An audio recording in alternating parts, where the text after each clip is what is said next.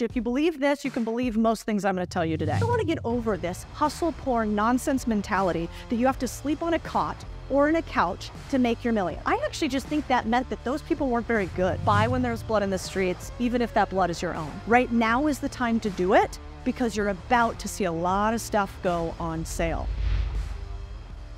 I'm the guy you go to when you want to learn how to build a million dollar business and do it in 12 months or less.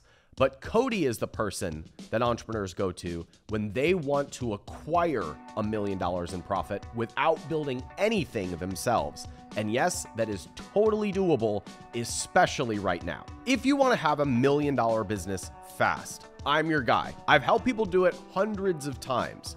But getting to 50 million or 100 million dollars is a totally different playbook. And this is where I am surrounding myself with experts who are doing this. The fastest way to get to $100 million, from what I've seen and what from my mentors have told me, is through acquisition, meaning investing in or buying other businesses, specifically businesses that complement the one that you built to seven figures. In 2017, I sold a business for eight figures to a private equity group out of Dallas, Texas. And my hope was that I could learn from their playbook and see what they used in order to take my $10 million business and take it to 50 or $100 million. That didn't happen. Instead, what I learned was that these private equity people were no smarter than me. They did things differently, but they were no smarter than me, and they definitely didn't know my business as well as my partner and I did. So I watched them destroy my very profitable business, which I then bought back for pennies on the dollar. But in the process, I saw how they think and I saw how they approach doing really big things. And some of the businesses that they bought or invested in did go to 50 or 100 million dollars. And so I asked myself the question, can I do this? If I'm just as smart as them and even have the entrepreneurial chops to be able to build a company that they want to buy, can I use their playbook to get to where I want to go faster? I still have plenty to learn on this playbook, so I've been surrounding myself with experts and mentors who do this specifically. And one of those people is Codie Sanchez. I asked Codie to share at the Capitalism Conference how she looks at businesses from a private equity lens. This is the other side of business that most YouTubers and scrappy entrepreneurs don't know. And I want to give you a peek into how this playbook works because it will inspire you to think bigger and show you that the path to 50 or 100 million dollars isn't as mysterious as we like to think. I have this overarching truth, which if you believe this, you can believe most things I'm going to tell you today, which that is easier to buy profits than it is to build that. It is way easier. Why? At contrarian thinking, I've always had this this purpose of I don't buy into people's hopes and dreams, aka venture capital. I buy into facts and realities, aka private equity. And if you can believe that, then you might be interested in what the rest of this presentation is about. The second truth that these guys know that most of us don't is the, the exact opposite of all the books that we read early on.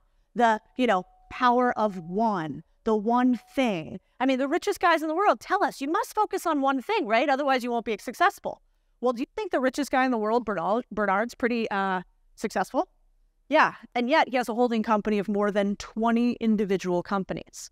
It's all about how can you acquire, add leverage and scale, and combine so that the parts are greater when they are summed. That is the goal today.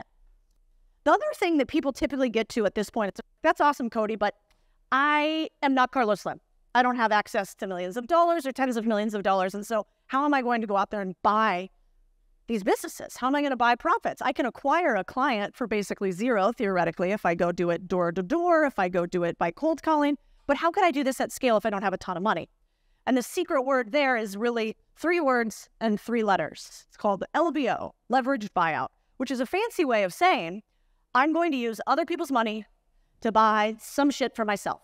And they're going to get a percentage of it, but I am not going to put my skin all the way down on it. And once you realize that there's this word LBO out there that nobody in private equity wants you to know about, and you look at any deal that's done in private equity, you'll realize, oh, wait a second. These guys didn't put a bunch of their own skin on the line. They didn't do what entrepreneurs today tell all of you guys to do How many times have you heard this story? I slept on my couch for two years to pull this off. I mortgaged my house. I barely made it. I'm so tired of all done it. It is hard, don't get me wrong. Being in business means that we're all in this room a little bit. We're masochists, right? Like it's not that fun, actually, you know, when you run a business. It's hard. Payroll doesn't get made all the time. Your employees are always the solution, but also the biggest problem. And we know that. But I don't want to get over this hustle porn nonsense mentality that you have to sleep on a cot or in a couch to make your millions.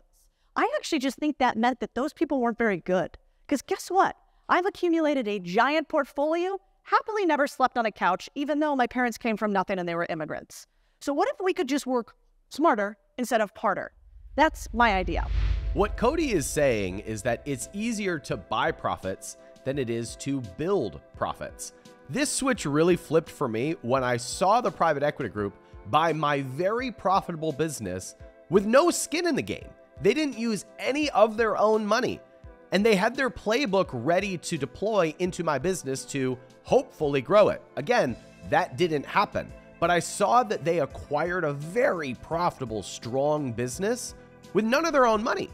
They didn't even do the work themselves.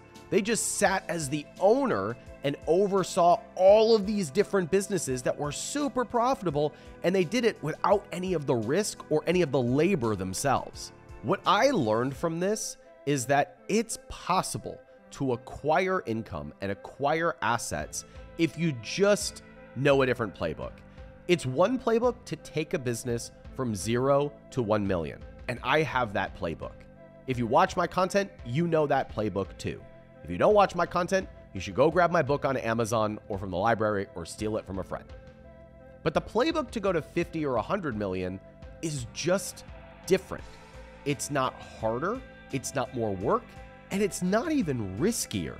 It's just a different set of rules that you can learn and apply just like you would learn to build a business to your first million dollars. In this part of the talk, Codie walks through how she added a million dollars in profit to a very boring business. It was laundromats. And when I saw this, I started to think how we as scrappy entrepreneurs can apply the same methodologies in the same playbook to our businesses that take our sales online.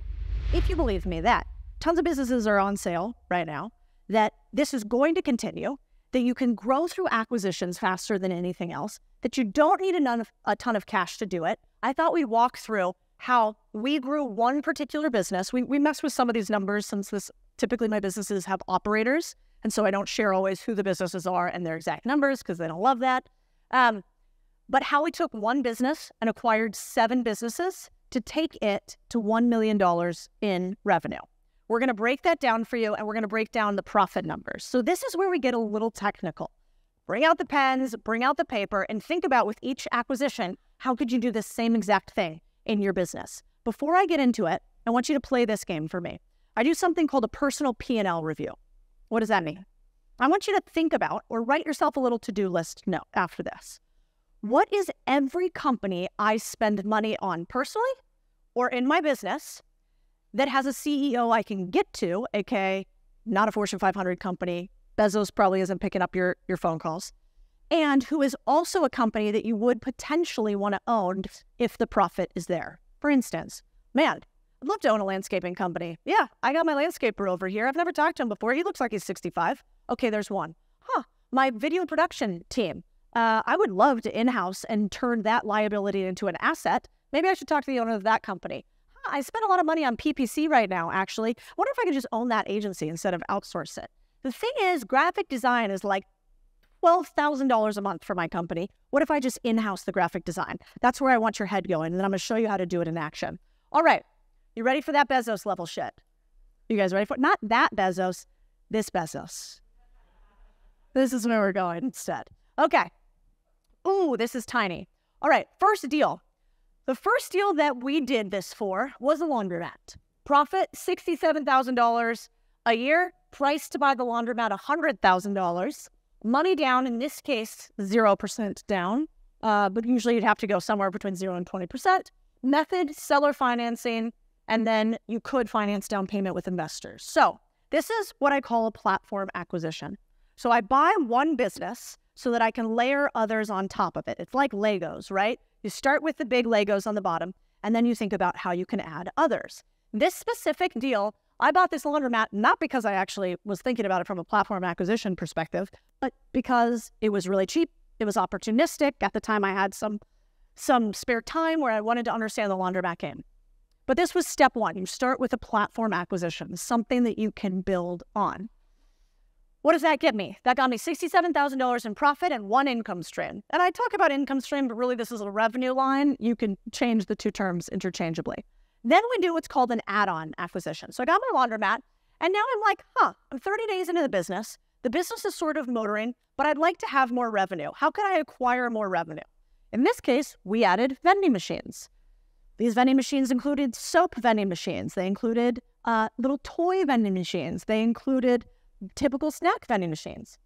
This was bought all in. Our first vending machine was about $3,000. We bought it online. I think we spent about $25,000 all in on the costs of this business. And what did that then net us? That gave us another, what is that? So $50,000 in profit for $117,000 in total profit. So I have my platform acquisition. I do my first little add on acquisition. After 30 days of being in business, now we're at $117,000 in profit and two income streams. So now I'm like 90 days in, let's say. My business is sort of standardizing. I'm rocking and rolling. I'm ready to do my next acquisition. The next acquisition is called a vertical acquisition. This is I buy my competitors. Somebody's going out of business. In this case, his name was Bob. Bob is older. Austin's too hipster full right now. They roll up their jeans. I got to get out of here. I want to go out to the country, Bob says. Bob happens to run a large laundromat. This laundromat was about $300,000 in profit. So we say to Bob, hey, Bob, uh, first I would go to Bob and say something like, Bob, incredible operation. Oh my gosh, I just bought a laundromat. We don't really know what we're doing over here. We're not competitive. We're way over there. You're over here. No different. But man, can I take you out to lunch, learn a little bit? I get to know Bob. Bob tells me his hipster feelings. I say, Bob, would there ever be a world in which you'd sell at the right terms and right price and go buy your ranch out in wherever in Texas? At which point Bob says, Yeah, actually, I might do that. So we acquire Bob's company, $300,000 in profit, and we use seller financing. Typically, for a seller financing deal, if I have cash, I'm giving them somewhere between 20 and 50% down. If I don't have cash, I'm trying to have them finance it all. Does everybody know what seller financing means? Not, okay. Seller financing means you take from future profits of the business to buy the business. This happens with 60% of all small business acquisitions. So if I own a business that does that I'm going to buy for $100,000 and that business does $30,000 a year in profit, I'm going to ask the owner, hey, would you be willing to finance me this business over a five year term? I'll pay you the $100,000 in chunks over five years. Very, very normalized. All right, so I buy out Bob. Now we're at $417,000 in profit through this vertical acquisition. Next stage, asset acquisition. So now I'm like, man, I know how to run laundromats. I got two of them. Things are motoring. What if I could add more capacity to my laundromats? I don't need another one per se, but I could probably add some more machines and then I could have more people come in here more frequently. So I go out to the market and I start looking for struggling competitors. I, if you owned a gym company, you might go out to gyms that are struggling and say, huh, uh, what if I was to buy up some of those bikes because you aren't using them right now? What if I was to buy up some of your barbell equipment because you're not using them right now? So we buy machines for pennies on the dollar. And with those machines, we add another 100K plus or 50K plus in uh, profit to this business by stretching out how much more we could do with capacity over the year. Now we've done four acquisitions. Do any of these acquisitions feel unattainable? Do they feel super hard and onerous? If you guys can't figure out how to buy a vending machine online, like, yeah, this could seem tough. But in fact, these acquisitions do not have to feel the way we feel typically when we hear that big word. All right, now we've got our fifth one. This is what I call a satellite acquisition. So I'm basically like, okay, so I've got these laundromats, but laundromats run on average at 20 to 30% capacity. Like my team could do more. The team at Approachment that I bought, they were running at 30% capacity. Every time I buy a business, the first thing I do is do a capacity analysis. How much more work could my people, machines, things be doing? And how can I get more work to them? Because I hate paying for stuff that I'm not using. And so I'm like, wait a second, we have all this extra capacity because we're only running at 30%. What if we could run all night long when nobody's doing laundry? Oh man, okay, if we could do that, we'd probably bring in a lot more revenue. How could we do that? Add a wash and fold delivery service. So what do we do? We go and buy a bunch of vans through acquisition of a company that's not doing well in the wash and fold space. We buy them out for basically the cost of their vans plus a little bit for the owners to stay with us for six months. And with that, we've added $250,000 in profits. We acquire their, their machines, we acquire the owners for a period of time, and we acquire their SOPs and software. How do we do the van delivery process? That's the difference between starting a new revenue line, where you're just buying the vans outright, and buying another business. So you get all of that inherent knowledge. The cool part about that knowledge is it's worth zero to them because they're closing, and it's also typically valued at zero. Any businesses below five to definitely 1 million in revenue, you don't really value that they have systems and processes in place. You say, you guys make $100,000 a year, I'll buy you for two to 5x profits. That's what a small business trades for two to 5x profits. Almost every time below the 10 million mark, pretty much 100% of the time below the $5 million mark. So we buy this company and we add $250,000 in profit. Now we're at $717,000 in profit. This is coming out, let's call this like, uh, you know, 200 days in, something like that. Step six, horizontal acquisition. This one just really, this really did it for me. We bought a soap company. We did not buy this soap company because you ecom people uh, are clever like that. We bought a no-name, brandless, no marketing soap company. And we did that because the second thing I, I, I do after a capacity analysis is I go, huh, where am I spending a ton of money? I hate spending money, very cheap. I want to turn everything that is a liability into an asset. So I look at where I'm spending money and I go, oh, wait a second. Soap is one of my biggest expenses besides my lease. How could I turn that into a profit center for me? And so we buy this company that has mixers for commercial grade soap. We brand it a little bit differently. We bottle it and we cut our costs 30 to 50% within that soap um, line item. This adds another 200K in profit because we go, well, wait a second. Now we know a bunch of the other people in the area. Why don't we, and we know what the price are for soap, why don't we undercut cut the, the main providers of soap that they're going to with cheaper stuff because we're locally based? Plus, there's some like goodwill between us. And so we're going to sell out into the marketplace, which is how we get 200K in profit. So now we're at like 917 in profit. Step seven, hard asset real estate. This is a real book, by the way, which I just think is fantastic. Could you imagine putting that on your book cover? You know, I guess props for confidence. Um, I hope he's not in this audience. He's like, yes, yes, I am. Um, so anyway, we buy real estate. Uh, we buy the commercial unit that we're in, the commercial building that we're in. Why? Because for your laundromat, that is your most expensive cost besides water and utilities, which you can't buy. And so the most expensive is our lease. In laundromats, I typically require a 12 year lease because it's expensive to like build out all this stuff.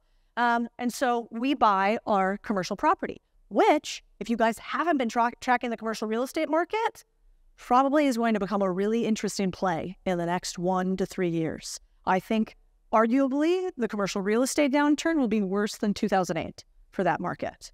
Um, and if you're not up to speed on that, it's worth taking a view at. Now, we buy our little landlord and or our little uh, commercial strip, and we become landlords, not just for myself, but for the other properties on hand. So we then use other people's money in the form of a mortgage to get another 100K in profit, which takes us to a million dollars in profit inside of one year. This is how I'm implementing what Codie shared in my own business. I've built a $10 million business. I have a playbook for what is required to take a business from 1 million to $10 million. And a few years ago, I started a fund that invests in businesses that are doing around a million dollars in the businesses that I'm familiar with, which is selling physical products, selling stuff online. And I know that if you pull a few levers, you can take a business from $1 million to 5 or $10 million. So instead of starting a business myself, I'm looking at how I can acquire pieces of companies that I can implement my playbook into to help those businesses grow from $1 million to 5 or $10 million. As a result, I've built a portfolio of businesses that are growing in the space that I'm most familiar with. And now we're looking at other acquisitions, other businesses that can complement those assets and make them even more profitable and more valuable. So I grew my portfolio with a little bit of my money, but mostly other people's money. And I'm using other people's time by investing in these entrepreneurs who are following the playbook that got them to this point.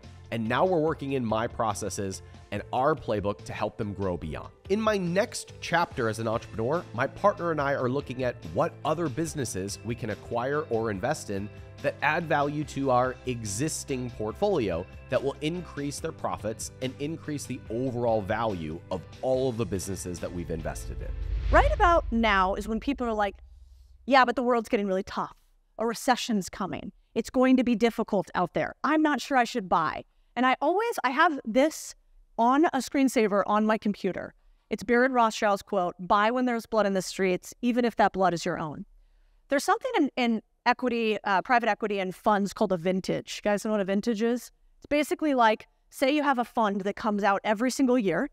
Each year is a different vintage. That's what they call it. And so the best vintages or fund years are when? In a recession. In a recession. You do not want to invest in a private equity fund from 2020, 2021, 2022. Why? Valuations at all time highs difficult to find opportunities in the market. When you actually want to be putting money to work is when everybody is fearful and running. So there's about to be blood in the streets, which means if you guys don't know how to buy businesses, if you don't know acquisitions, if you don't know deal making, I think you're fucking up. Right now is the time to do it because you're about to see a lot of stuff go on sale. Good indicator of this is what's already happening in the real estate market. You're starting to see it across the industry. That is a forward leading indicator. So, the interesting part that I think most people don't realize is it's not just that a recession's coming, it's that we have a generational tectonic shift happening in the world. And that's this it's that baby boomers are retiring at all time high levels to the tune of trillions of dollars and 11.2 to 12 million small businesses being on sale. The vendors that you work with, those owners typically want to sell in some way, shape, or form. The people who service your home in varying ways, they probably want to sell too. We are having a massive shift from the fact that baby boomers got accelerated by COVID. These baby boomers got tired after the businesses closed down. And in fact, 80% of all restaurants on Yelp that closed ever for COVID, what do they do? They shut their doors for all time. This is fascinating because how many people in here own a business? Raise your hand if you own a business. Okay, most people. Now keep your hand up. Sorry, keep your hand up. How many people in here would sell that business at the right price and terms? Shocking. Really. If you look around the room, there's hundreds of you. And in every single room, do you know what people say to, to Chris and I and my team? They go, well, going to no deals to be found. I'm like, motherfucker, look around. There's deals everywhere. Anybody that owns a business, if you catch them on the right day, at the right time, with the right offer, what will they do?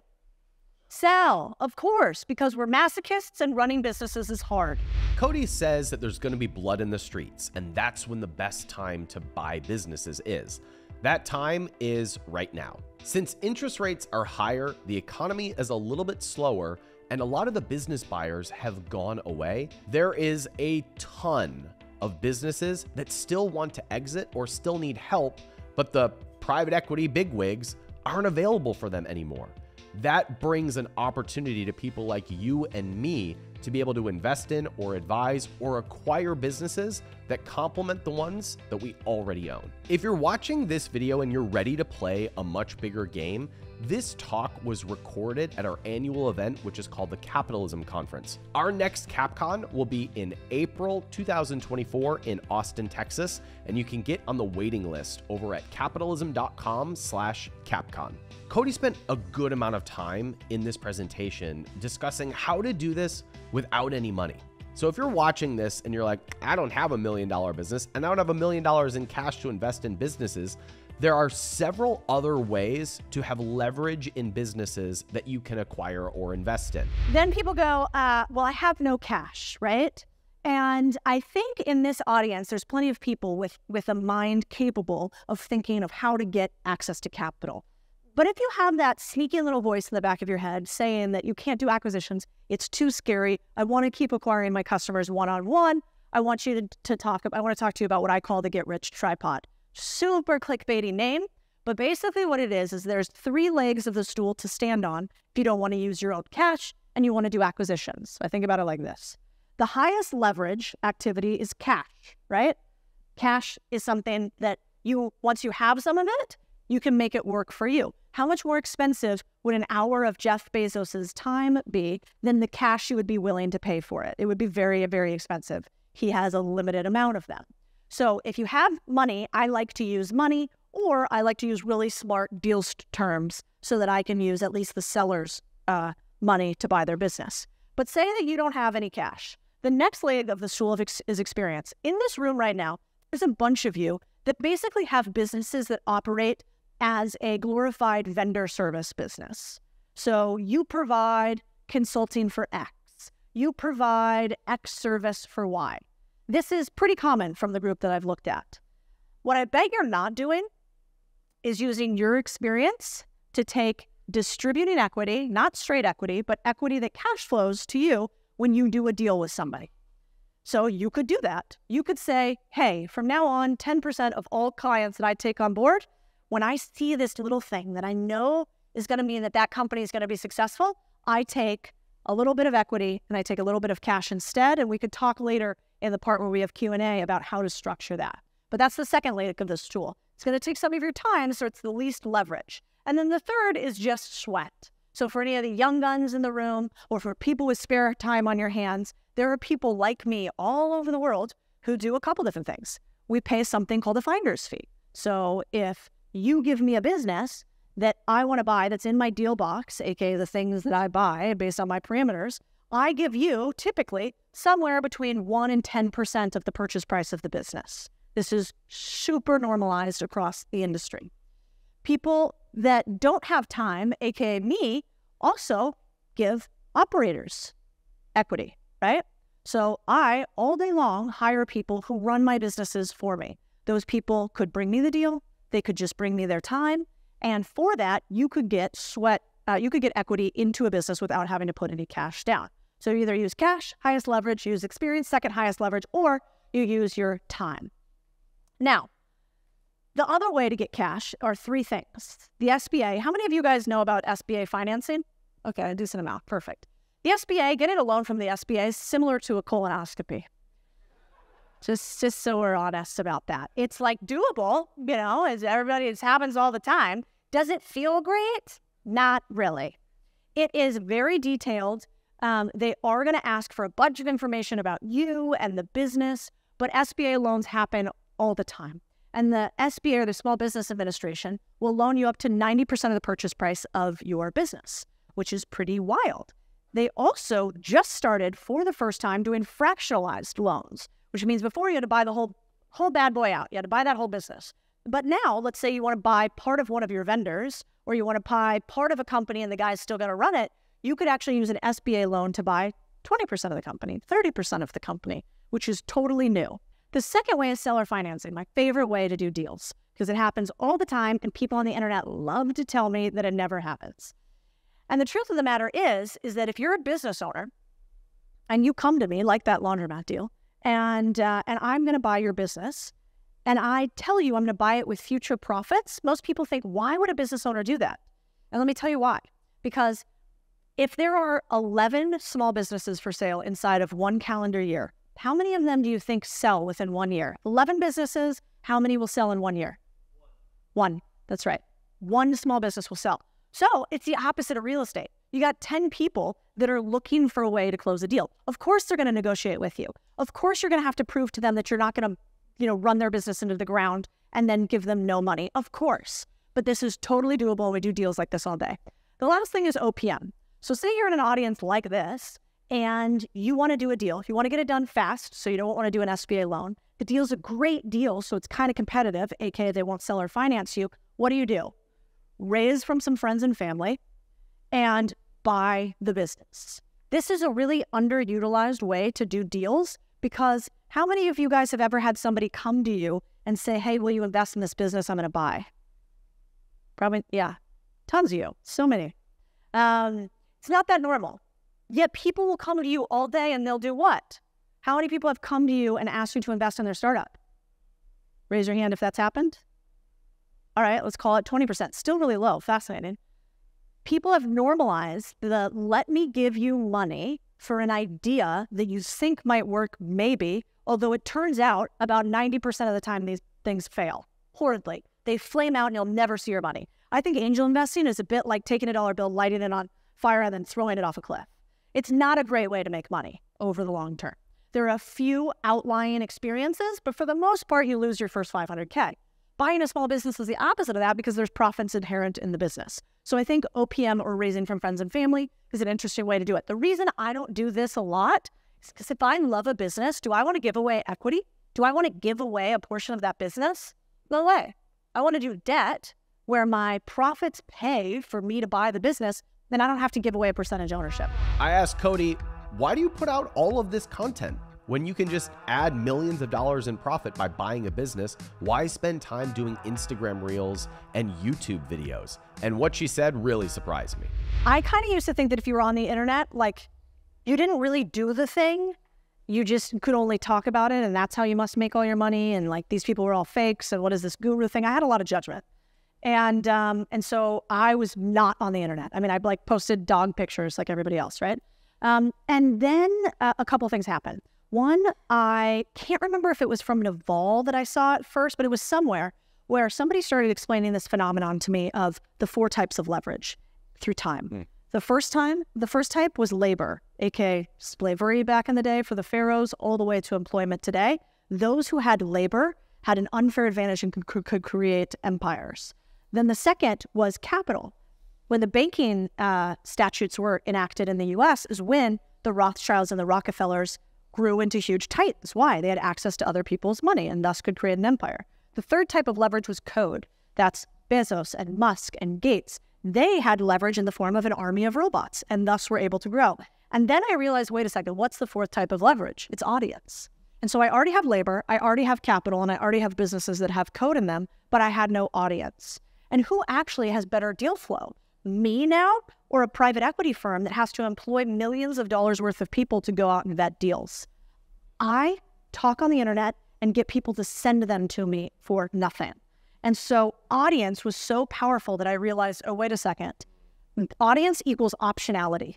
And I want as much optionality in the form of leverage as I can get. On a recent video on this channel, I asked Noah Kagan how he gets some of the best advisors in the world to give him advice without paying them a ton of money. And he says that he gets advisors for almost every project that he decides to pursue. In this clip, Codie says almost the exact same thing.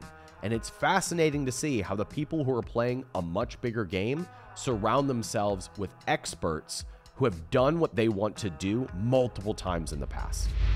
If you want to start something new, the question is never how, it's always who. How can you go to find the best who's in whatever your new endeavor is? You know, that's why we do so well in acquisitions as an education business because people who are smart are like, yeah, I could learn how to do all this by myself on the internet, or I could go to a who and I could pay them. And so I use that philosophy in everything we do. We have we have a consultant for newsletters. We had consultants for every single social platform. I hired the best experts on each social platform that I could get. Um, I used a scorecard and a KPI tracking thing, just like in every private equity firm, to track week over week growth uh, and see where people were falling down or not falling down. Every single leader inside of our business has a personal scoreboard, a company scoreboard, and a per platform score- scoreboard. And so if you apply that sort of like, I jokingly call it Sauron's eye, but it's like that laser eye to your business, uh, it's it's hard to fail. The formula for a million dollar business is getting four products to 25 sales a day at a $30 price point. And that process takes about a year. The playbook to going much beyond that is a wildly different playbook. And the people who grow the fastest are the ones who scale through acquisition. That means creating partnerships and investments in businesses that complement the one that you've already built. If you're at the beginning of your journey and you're still building towards that first million, you can download our playbook to building million dollar businesses in 12 months or less at capitalism.com slash playbook. And once you're at a million dollars, my fund might consider taking the playbook that you just learned from Codie and implementing it into your business so that you can grow from 1 million to 5 or 10 million dollars and we'll do it as a team. Codie is smart and she's hardworking, but the thing that stands out the most is that she's just taking a different set of rules into every business that she pursues. These are the types of people that I like to surround myself with because it stretches my thinking and helps me think how I can get to where I want to go faster without figuring it all out myself. If you want to be surrounded by people like this, come join us at our next annual event, the Capitalism Conference, in April of 2024. You can get on the waiting list and see who's speaking over at capitalism.com slash. I'm Ryan Daniel Moran with capitalism.com. Thanks for watching. I'll see you next time.